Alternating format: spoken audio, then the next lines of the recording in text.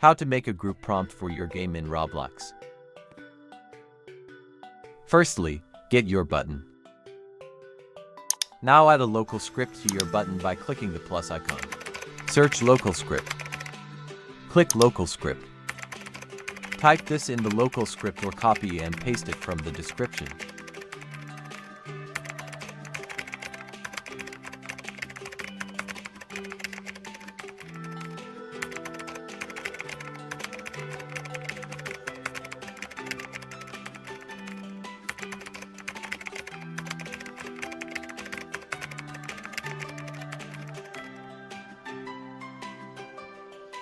Now go get the group you want.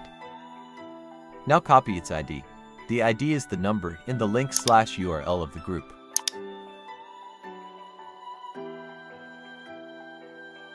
Go back to the local script and paste the ID instead of the six zeros.